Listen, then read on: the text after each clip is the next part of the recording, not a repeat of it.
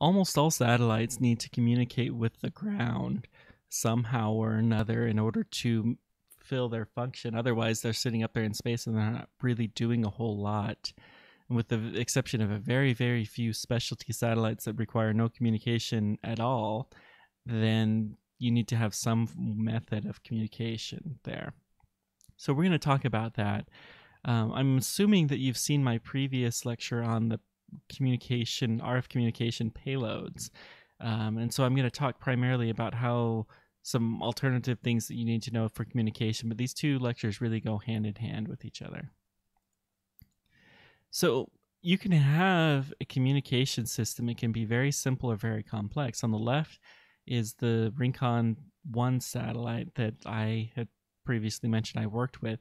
You can see it has two different antennas. It has just a dipole antenna that is a UHF, so 400 megahertz signal, and it has also a, a ring band here that is also on the UHF spectrum, a circular antenna.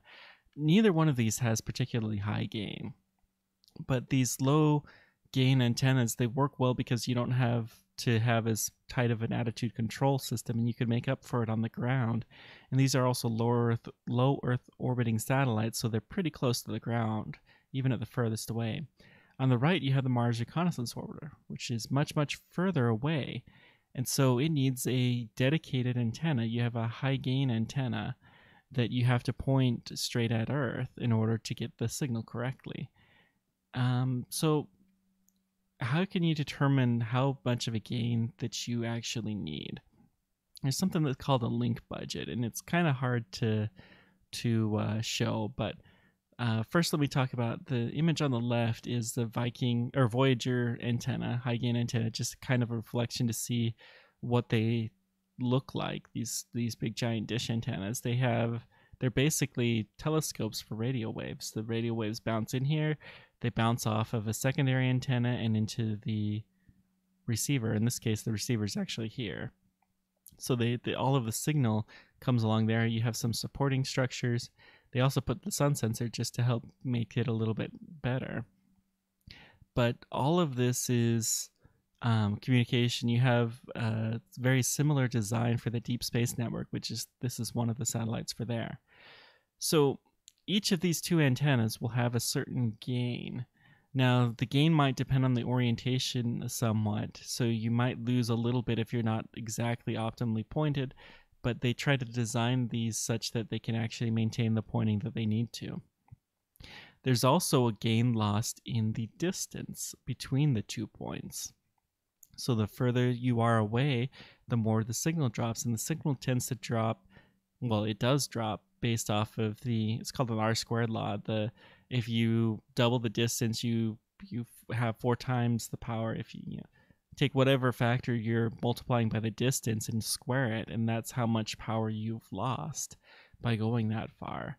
And so they'll measure the, the communication link in dBs. And so you can figure out how big of an antenna that you need in order to capture your particular signal, however far it might be. Um, a high gain antenna on the spacecraft can make up for not having as good of an antenna on the ground and vice versa. But for the really far out stuff, you have to have a high gain antenna on both systems. If you're just orbiting Earth, it might not matter as much, so you could probably do with a lower gain system. So, where can you actually send signals? Well, this is the atmospheric opacity window. So, anywhere that you see a signal below 100%, you could theoretically send a signal. Most of the radio waves are sent in this particular band. These are the, the radio waves on the lower end and the higher end. You come into the microwaves. Visible light also goes through the atmosphere pretty well. You can use laser beams, although we'll talk about it a little bit later. They have their own difficulties, and there's also um, some infrared bands that can transmit pretty well through the the atmosphere. If you have a space-based system, then you don't even need to worry about this. You can just track things directly, although we have a very limited deep space network. So, visible light has two main issues. One is it doesn't get transmitted through clouds very well. So, if there are clouds, then you're going to have some troubles. Uh, the second issue is that it's a very, very high gain system. the lower you are on here, the smaller the waves, the higher the gain tends to be for those signals. A laser beam has a very, very tight focus with relatively small, with very small optics, actually. Whereas you don't have nearly as much gain even with a big giant dish. So you can do a lot more with less power and transmit a higher data wavelength the, the higher that you go um, as far as your power is concerned.